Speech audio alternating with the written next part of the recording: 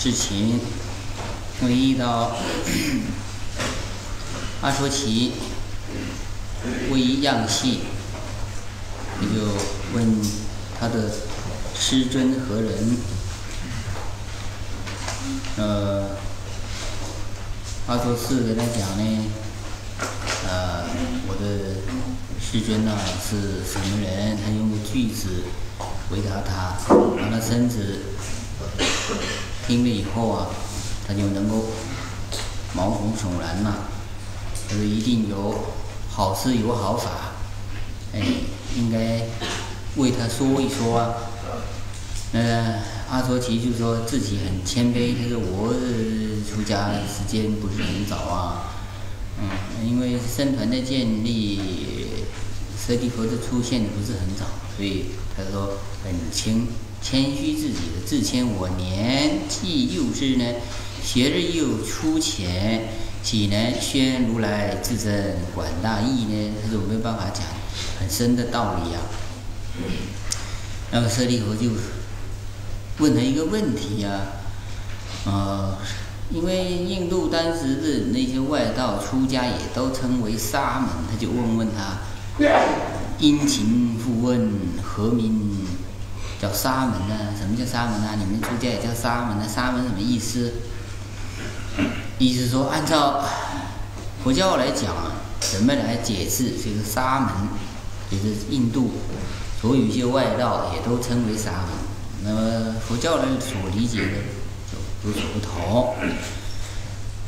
这样说起就回答说呢，一切诸法本因缘因缘空无足，悉心达本源，故号为沙门。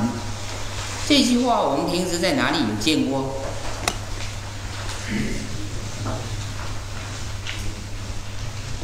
在哪里？十二章经里面不是有吗？七星达本源，故号为沙门。呃，简单这么一句的，悉心达本源，故号为沙门。关于这句话呀，那各个地方的记载也都不一样。也就是说，舍利弗见到阿说斯阿说奇，或者说马圣比丘跟他讲什么，意思说你的老师跟你说什么法呀，这个在记载上都不一样。你说诸法因缘生，诸法因缘灭。我国大沙门怎么样？常作如是说，也是这样。而这句话其实也是讲因缘，也是讲因缘的。这些诸法本因缘空无主，悉心达本源，抛为沙门。这都不凡，因为记记这个黄本不一样啊，翻译上不同，那个意思都是一样的。一切诸法的根本、原本，其实一切诸法的根本呢，都是因缘和合而生。它空而无有主宰，无有自性，空无主就没有主宰。一切法不能主宰，没有一个自体。怎么说没有自体？我们人有没有自体？人有佛性呐、我们众生这个妄妄想执着也有啊。那他没有一个自主能够主宰你，怎么会主宰不了呢？就说感冒，你叫他不感冒，他能你能主宰得了？对不对？那眼睛要看不见，你说我主宰让眼睛看得见，不要近视眼，你没有办法。肚子疼你也主宰不了啊，你要主宰肚子不疼。就说我们这个人呢，你其实很渺小无能，到没有办法呢做得了主，这叫因缘空无主。你们要来听课啊，必须把手机关掉啊，打闲岔，是不是这样？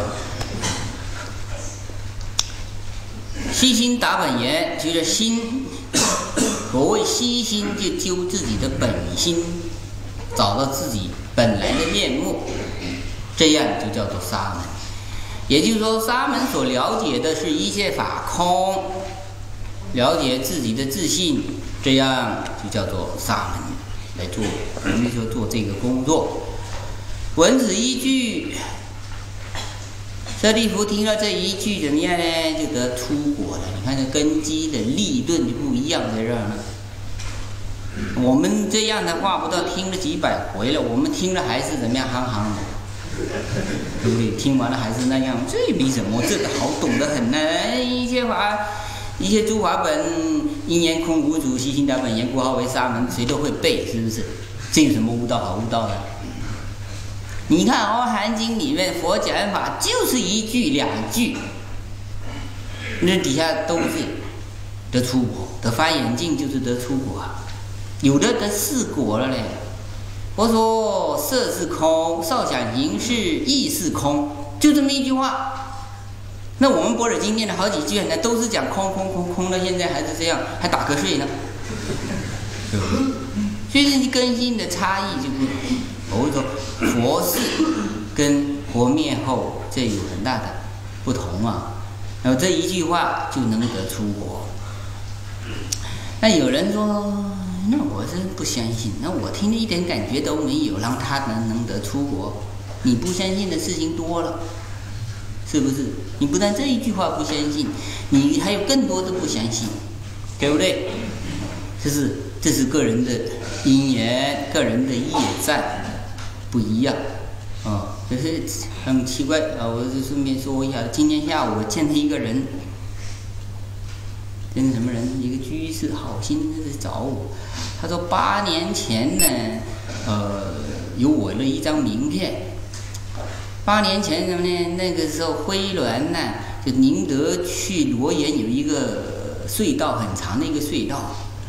这隧道刚才打通了，有时候可以走，有时候不能走。老李还是开出租车，我坐他的出租车。然后呢，听说那个隧道可以走啊，那我们不妨试试看。不过前面它有一挂一个挂一个路标，禁止通行。听说可以走，我们不妨去闯闯看。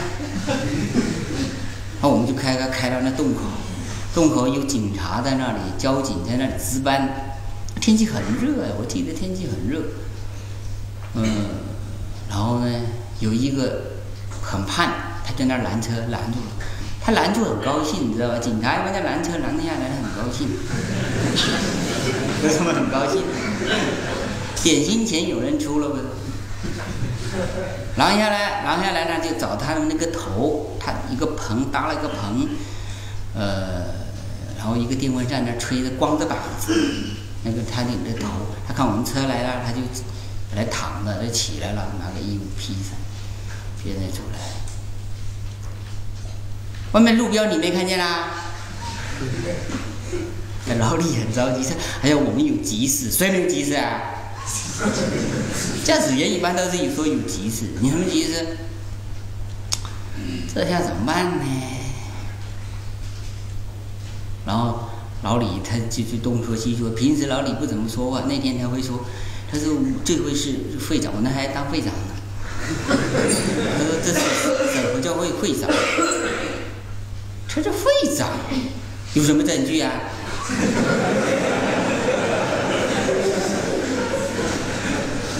然后呢，老李问我你有没有带什么证件呢？我说我有个省政协委员的一个证。他说那拿来试试看。他拿去，他说他去去去省政协委员，他去开会到湖顶去开会去，很重要的事情。哦，这样啊，哦，那就这个地方现在不能走，知道吧？是这样，他说，他说你有没有名片呢？我说有，给你个名片。就这样，他没划我们，人家划我们呢。就这样子一个名片，就一一张政协那个那个那个通行证呢，起了一点作用，但是没被划。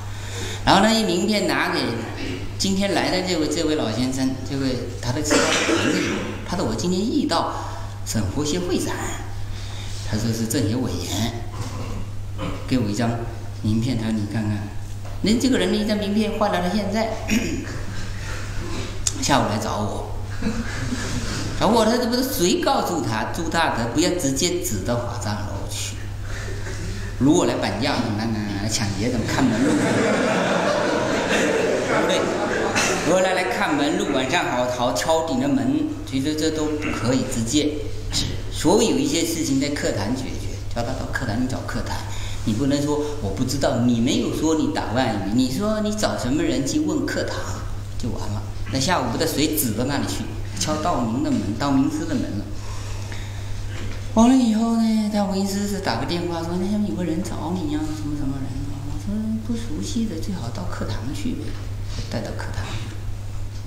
哦，这个人长得有模有样的，四十多岁，四十五岁吧。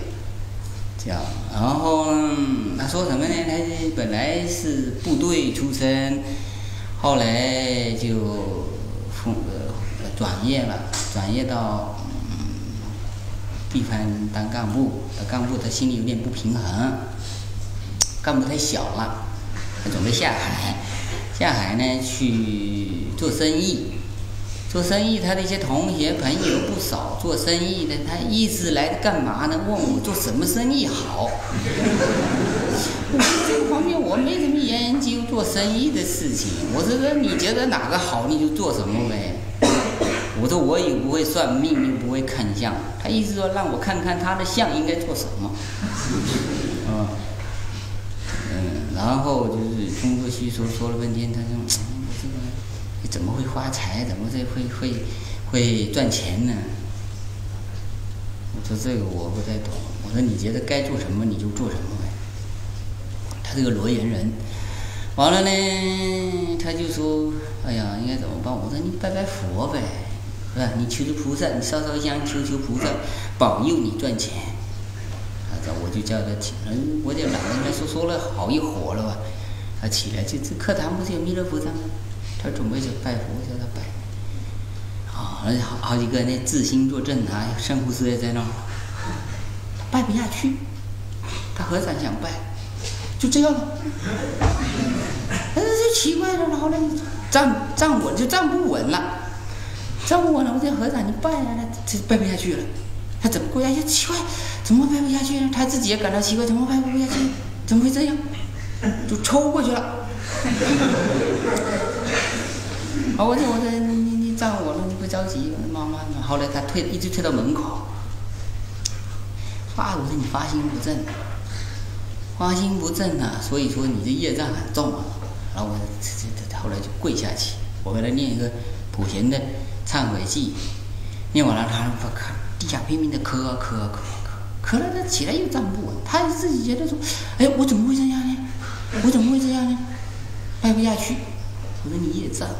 所以说你发心不正呢，就会有很多的麻烦，对不对？这是事实的，有人证明，你不信问问那个那个自心造的，就这么个事情。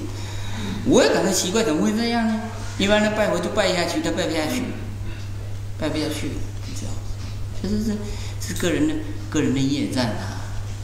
所以说你不相信，不相信就这样，亲自看见这样，啊，是这样。所以说每个人都啊。有种种过去式的业，乃至你今生发心不正呢，到从再要从佛门当中找一些左道，是不是旁门左道啊？这样投机取巧那都要不得。你发心正，一定没问题。所以我们看这个地方说所说的说，你信不信呢？人家这个舍利弗当时就听了一个句诵。都出国了，啊，那么世间很多不可思议的事情，你不得不相信这因果招人的事情啊。然后呢，完了他就回到原来的地方去了，就是回返回本住了。他跟穆建连是一个好朋友，跟穆连呢是好朋友。那见到舍利弗当时正在出国，他就很欢喜呀，总到遇到好的呃这个消息了。他就跟他讲说，我们原来有契约的啊，所谓契约就是我们当时有共门的，嗯，就像就像刘备他们一样，嗯共共门，好兄弟。那么如果得到了，我们要同不分前后的。他说事无前后，你怎么先得到呢？我都没先得呢。那舍利佛说：“当时啊，嗯，失望火急，我都来不及告诉你了，很着急这个事情呢。他说时流迅疾啊，他说时这时间很快，没办法，怎么来不及告诉你，我就得出国了。对不对？我他只是听了一个寄送啊，我都无暇返回啊，就出。然后他把这个寄送告诉木莲。”木莲也得出国了，看见没有？那么我们代代相传传到现在了，告诉我也看到了，然后我告告诉大家，得出国没有？啊，得没得？不好得啊，是不是这样？就是不一样。好，两个人呢相约就到佛那个地方去，看着佛果然如是庄严呢，他们就回心向佛了。是这样，好，下面又介介绍木莲，呃，这个可能有一些经书里面的说明，所以这个译书当中也讲的特别长。呃，这个木莲呢，是他说木莲意是姓，也是从他的姓来叫的。那么他的字呢，应该叫啊居利陀。本来应该呢是季利陀木莲啊，木莲季利陀应该是这样子，他只现在只称他的姓而已。但是他的父亲呢有大威势力，可是没有儿子，没有儿子呢。印度人到现在为止，我们去印度看见没有？很多大树都系上红布溜，树下烧香，到现在为止也是这样。跟跟浙江宁波人不一样了，宁波人也喜欢去摸树，宁波人喜欢去摸树，摸一下然后这样擦擦的，摸一下擦擦。福建人没看见，你们没看见，福建这些居士到庙里去抱树啊，宁波那些浙江居士很多都是去抱树，树抱下的，然后呢，香炉好好的香炉在那里插香，他不插，他到处给你插，哪个地方有粪粪他就给你插上，那是很怪异的一个事情。宁波那居士实在是很怪异。这次开首届佛教论坛呢，从杭州，我只是其实开会只是开了半天多一点而已，我就没在那里。那那仪式做完了，后台所谓叫这这大会发言，那发言可好玩了。每个人限定八分钟，超过八分钟，那个那个麦克风就没声音了，自然停止。我说这样讲的实在是太没意思了，没有面子，是吧？有一个好像是缅甸还是哪个地方去上去讲讲讲没了，没了，他还在那念。那主持人说你完了，你完了，你下来吧。然后他还在念，他因为我说我稿没念完呢。我说这也没多少意思。还那一天下午有五十六个人发言，我说都是这样的。那个讲你也不插上那个耳麦，他有翻译。没有插上耳麦，你根本听不懂他们是在讲什么的，各自讲各国的语言嘛。然后我就离开，离开就到宁波去了。我坐他们的便车到宁波去，到几个看看几个小庙，那些那居士跟我们福鼎的居士相比啊，那实在是差了很多。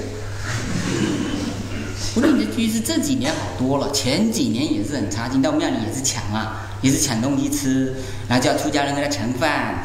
出家人帮居士刷碗，我刚回来都是这样的嘞，我都看得很不习惯。我说怎么会这样？居士到庙里，出家人帮他盛饭，帮他刷碗呢？他吃完了碗放哪了？我们帮他刷，是这样，还要帮他打洗脸水。后来我就开始慢慢的着手这方面的宣传，我说你们不可以呀，居士怎么到庙里可以这样干呢？现在福定慢慢转变，可是宁波那个地方呢，还怎么样呢？啊，他们在那拜梁王忏，拜梁王忏，拜一部梁王忏才一千五百块钱，然后很多人十块钱也可以拜，五块钱也可以拜，很多居士在那拜梁王忏怎么拜？出家人前面一排，穿上黄海黄海青，搭上红主衣，然后居士在后面呢，拿个椅子坐在那里，拿个椅子前面摆一个小桌子。摆个小桌子，然后呢吃花生嗑瓜子，师傅在前面拜，然后他们在底下吃。啊，然后拜一个，他磕个头，他他要点个头，然后接着吃，啊念念磕个头，他也磕个头，点个头，然后再接着磕吃瓜子，然后底下居士一大群在那聊天，上面师傅跪在那里，如果念文，梁文昌不是很多文吗？跪在念文，他就底下就聊天冲壳子了，然后开始拜了，然后他一边吃一边磕头，坐在那儿再点啊点啊点，这都小事了，完了以后下来呢。我的一个，他有个蛮香的小小的一个一个小店铺啊，就是庙里开的，一块钱的香，买一把，那香也不是质量很好的，一把香一说香的，嗯，一块钱，然后居士在那儿讨价，七毛钱要不要？五毛钱？那那个有个那个这个在一个在家人说他一块钱没赚你多少钱呐？然后说这太贵了，八毛八毛给你八毛。这是一个了，这讨讨价也说得过去。然后他们吃饭怎么吃呢？饭端出来啊，他们用手抓，这样拿个碗抢啊抢碗，然后这就这压压，然后就就桌子端着，大家围着抢着吃啊。吃完了以后，然后就找着师傅说：“你这里服务态度一点也不好。”说出家师傅服务态度一点也不好，菜这么少，我去别的地方菜比你多得多了。他们换的帮我盛好好，你这里我们还自己去抢，还 这样的了那个地方。或许别的地方也好一点，我去的两个小庙真是这样子，哎，变成啊那那种情形，实在是嗯太差劲了。给我感觉是这样，然后呢，把出家人那个那个说一点尊严都没有。然后我说你们住在这干嘛呢？我说跟这些居士打交道。我说你也不讲讲，教的教一教，教代这个教导教导他们嘛。他们不骂你倒好了。他说你要讲讲，他下回就不来了。我说你不来就不来呗。他说不来，我们也没得吃啊。他是这么想。他有些大的丛林底下可能会。好一点，他不敢那么随便乱抢。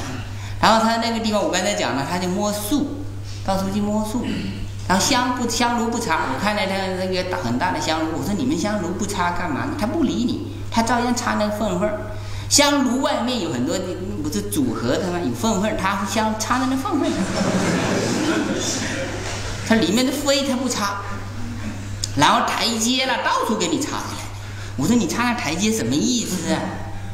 他也不知道什么意思，前人擦，后人也跟着擦，是这种经验啊。然后呢，但是我们看到印度人也是这样，他就是有什么事情呢？尤其说没孩子，他就祈祷那个树。啊，我们到印度看看，确实到现在为止也是，凡是一些大树都挂的那个红布条啊，底下烧着香啊，都有这种情形。那个木莲他的父亲当时没有儿子，他就祈祈求到那个树。就是当时也叫居利陀树，到那里祈请，他求个儿子看有没有？求了好几天呢，好像没还没有消息，没有消息。他这里他了无反复，了无反复，只是一点消息都没有啊。然后呢，他就跑到树那里去跟树吆喝树，他说：“你我这下再不能怀孕的话，我就把你的树砍掉。啊，我求子没有子的话呢，我就砍你。”那个树神呢，就紧张起来了。他说：“这个人应该没儿子的，那那求给他儿子也没道理，怎么办呢？”他就跟汇报第四天去了。这神也有神，有人管的嘛，他跑跟他们投汇报去了。他说：“那这个人不应该有儿子，怎么办呢？”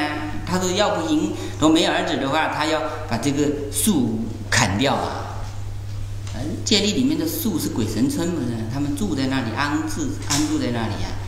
呃，因为建房子，但是有比丘砍树不是？那树本来要打比丘的，那树神打比丘。后来想想出家的不能打，他就跑到佛那里去告状，是不是？后来佛不治进戒律吗？有这样的事。所以说比丘不能砍树，原因其实是这样子。然后你说那连树都不能砍，什么不能干，怎么办呢？他有缘起，有因缘的，哦，或者你先给他讲一讲，说一说。后来第四天看看他有个好朋友，跟他那个天上他天福快享完了，意思说你要么到人间去跟某人做儿子行不行？那么这个他的朋友说我不去人间太苦害怕，他都苦得很呐。他说没关系，你去，你去正好呢，不久啊，有一尊佛啊，释迦如来会降生人间，你去亲近他呢，你一定会得到。这么一一一说呢，那么这个人果然去投胎。这个树神呢，他的木莲的父亲祈祷果然灵了，后来就生了木莲。木莲后来就出家了，那是生到这个婆罗门家以后，可以说这个是从树神祈请祈请的呃因缘而来。好了，木莲和舍利弗呢，我们看完了。那么下面的几位尊者呢？呃，从他的功德名称呢，有的解释，有的没解释。我们看经文好几个名字，后面的解释名几个名字很少哈。一个净智、周罗、满愿的满愿子，满愿子是布罗罗了。那么净智也好，周罗也好，它都它从不同的功德来命名而已。底下有个离藏，离藏经文那个耳朵边是放哪一边？你们看经文，那耳朵边站，他放右边，然后到了译书放左边，有没有看见？这两个字本来是通的，而这里这个字有两种读音。如果是放在右边的平声读，是指的地名，张张是指的地名，藏呢就是我们说的障碍啊，业障的障。呃，离障也就是嗯，指的呢，他修行啊得天眼，就是阿摩律。他这里这个地方讲的是阿摩律啊，得天眼，彻见障外。然后最后是罗云，罗云就是罗侯罗，罗侯罗的种种缘起，他助胎五六年的事情，这我们都大家都知道。啊，后来还有阿难，阿难通常翻译翻译什么？叫喜不是，因为佛正好佛成道的时候他出生呢，叫喜。只借他的翻译，阿难应该叫无染的意思。好了，那么这是声闻众，那么接下来呢，这听众有菩萨众。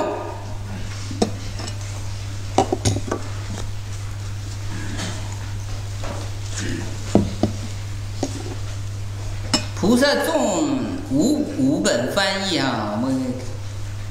稍微了解一下，汉吴两本呢没有列菩萨众，汉翻译和吴翻译呢没有菩萨众，唐本唐本有菩萨众，它只是有贤妇等十六丈夫众，它只要列提一下而已。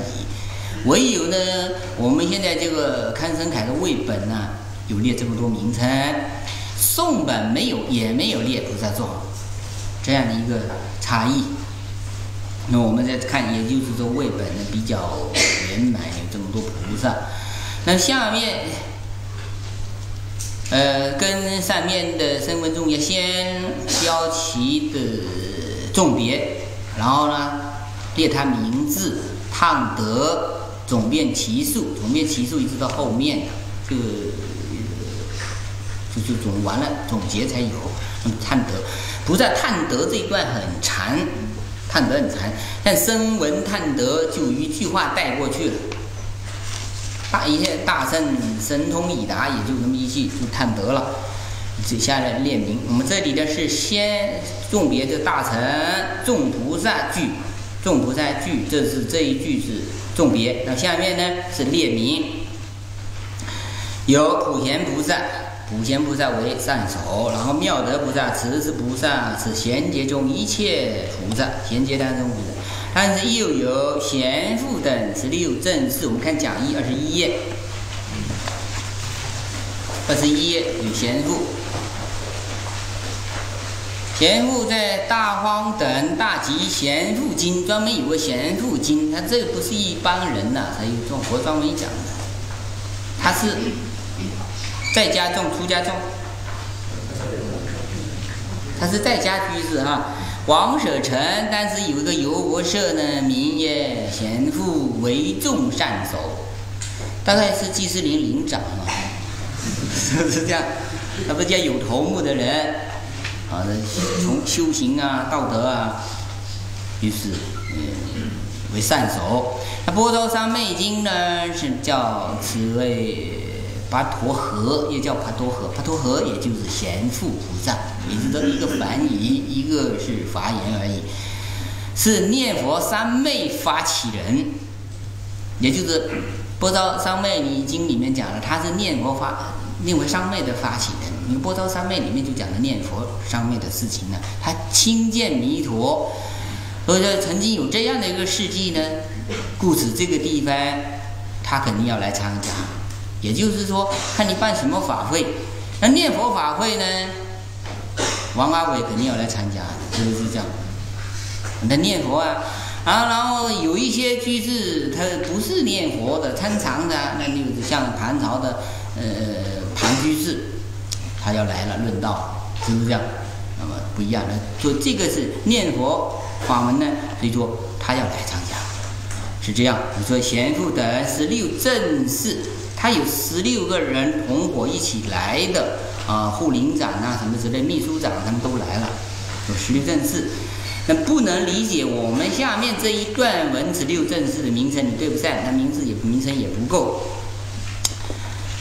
也也就是说，贤啊普贤妙德慈氏这些菩萨，然后又有贤父等十六正士，又有呢善思义菩萨、性慧菩萨、空无菩萨、神通法菩萨，以及到自行解脱菩萨，这么多菩萨来参加。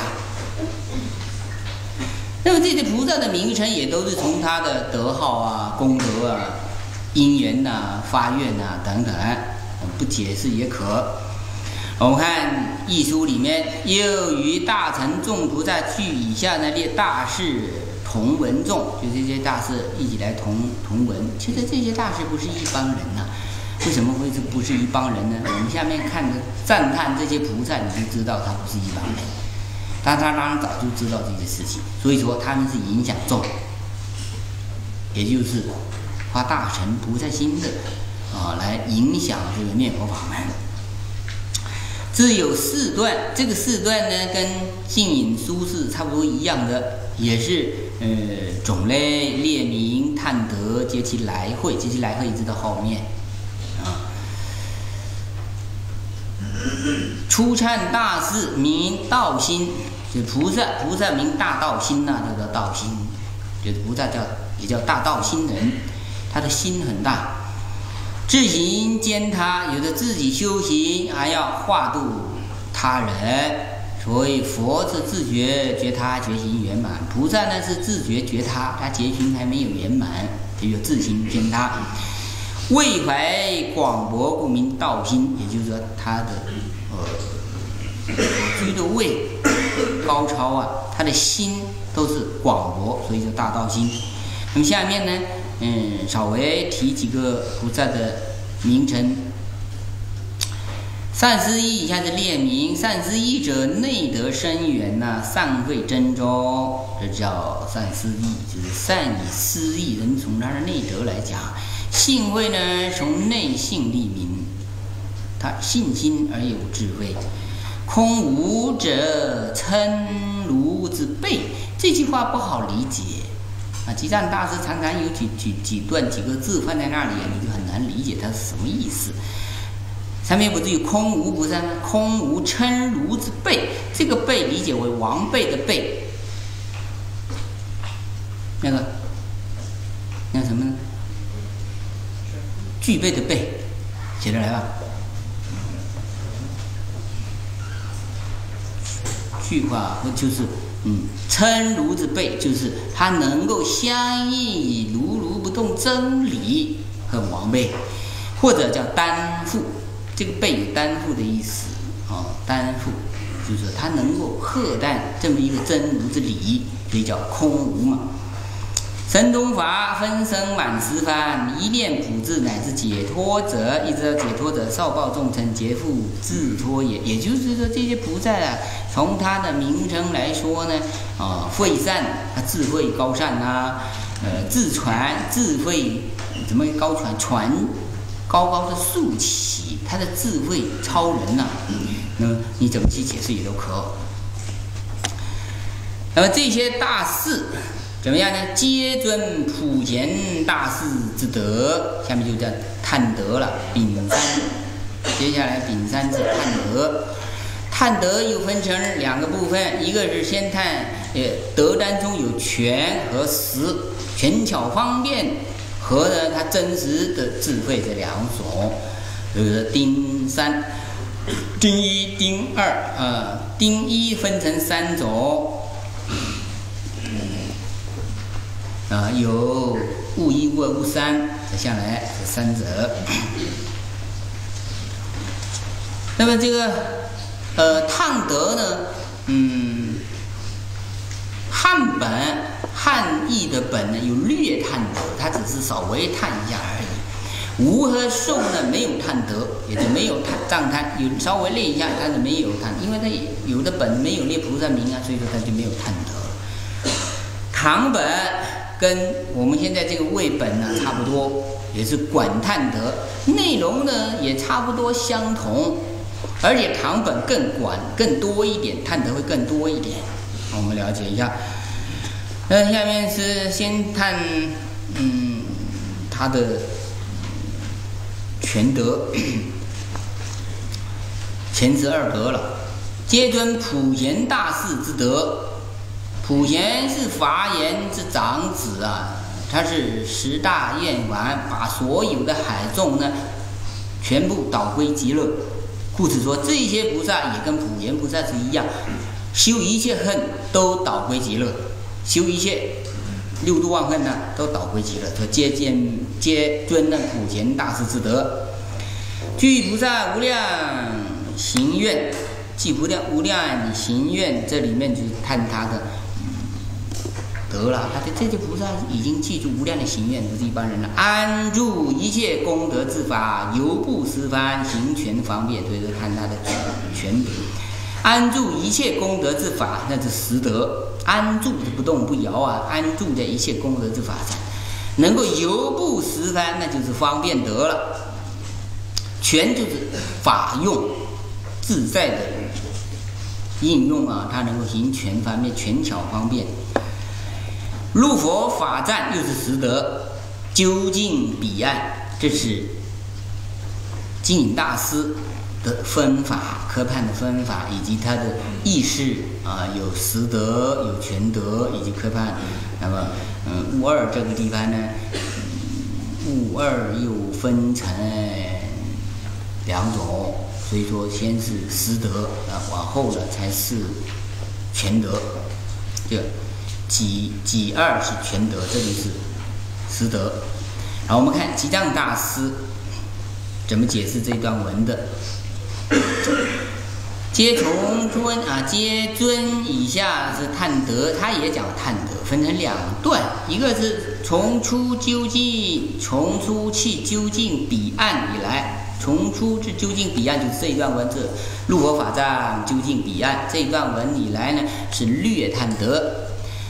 从无量世界，从无量界的从下面第二面十八页那个地方呢，嗯，叫以下一直到三十四页，皆渡彼岸。三十四页的第四行那个地方为止了。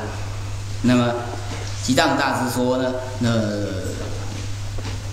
是管探德，略探德又分成两种，从初去安住。句就是从初阶段普贤，大致是安住一切呃功德之法。这一句呢以来呢，就是叫什么呢？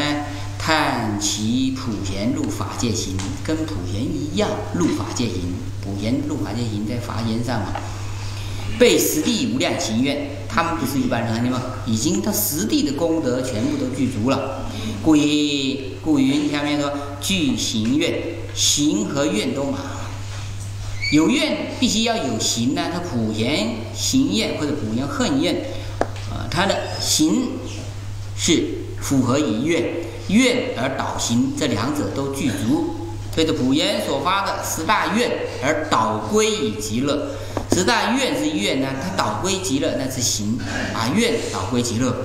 而这些菩萨呢，都尊普贤这样的德，正理穷心无二，他所证的理。究心源没有两样，所以这叫故称安住。假借吉修为己之勋，故云故云功。下面不是功德吗？安住一切功德。什么叫功呢？叫累劫的为自己所修，勋功勋功勋，它是为自己所修之心，那么叫功。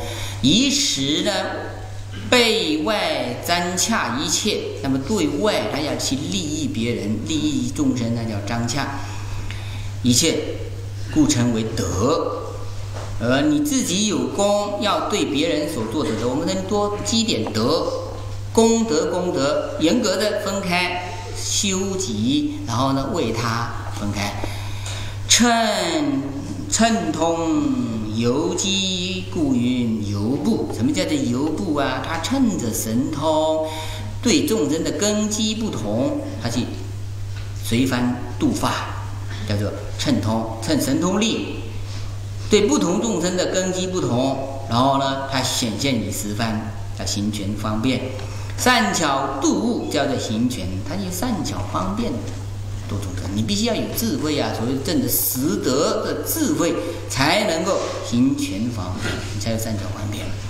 你没有智慧，内心没有德，没有正的诸法实相之理，它不能起这个善巧方便的作用。这两句呢，看外化。就是外面化导众生的作用。入佛法藏，所谓这个地方讲讲的入，入之言解，入就是解的意思，气会。法华经里面也讲了入佛之见，也讲入，入就是气味佛的自见。通常入怎么入啊？你理解了，体悟了，就是解。明理为明理为藏，解气中原。它逻辑明理，就是说入佛法藏，什么叫藏啊？这个法藏就是理，入入佛的法藏，法呃诸法的实相离体，那么叫呃的解气中原，他所理解、所证入的完全符合这个宗旨根源，故应入藏，入佛法藏究竟彼岸，入佛法藏。究竟彼岸，就是入佛的究竟的智慧，而能够达到到到达彼岸。此两句是看自行，自行，这是西藏大师的说法，我们做参考。那下面呢是净隐的科派呢，叫探全德。以无量世界现现等觉，现成等觉，所以都不是一般人啊。现成等觉，等觉，接下去就是妙觉成佛了，也是师地以上，要成佛。这个地方等觉可以理解为成等正觉，成佛，四现成佛，四现成佛，故此下面才有八相，八种相啊，八相成道啊。净隐大师有几相？现在不少人有去复印净隐书啊，他有十相呢。啊，他多出什么呢？助胎相、童子相、聘妻相，有嫁娶啊，就是说太子出宫呢，但是还有聘妻相，少了少了什么相？净隐书里面有净隐书的人，少了降魔相，他没有降魔。我们这个地方呢，所看到我们这个科判也是按照通途我们所了解的，通途所了解的。通常我们讲八相成道，经典里面讲八相成道。那吉藏大师这个地方也是用八相成道来说明，也就是说这些菩萨不是一般人，跟释迦牟尼佛一样能够八相成道。我们这个地方所看的跟释迦牟尼佛完全一样的嘛，出套衰，然后到呃降母胎。出生呐，然后呢，入胎出生，是不是跟香摩尼佛一样？也就是佛佛道同，都是八相成道来示现度化众生。那第一个呢，先是出刀帅，也就是出刀术天，刀术天就是刀在天，它翻译上不一样而已。你看我们《波尔经》里面的一些名称翻译，名称翻译，呃，不一样，跟我们通途看的也不太一样，也就是翻译上不一样。弘先正法，先到宝在天八将成道嘛，先入。那为什么现在倒在天，他不到刀立天呐，不到他化自在天呐？为什么到呃这个倒呃到谁天去呢？那么经里面说，上天暗遁，再善往善啊，它完全入于常定的状况，就是暗遁。夏天呢又太泛。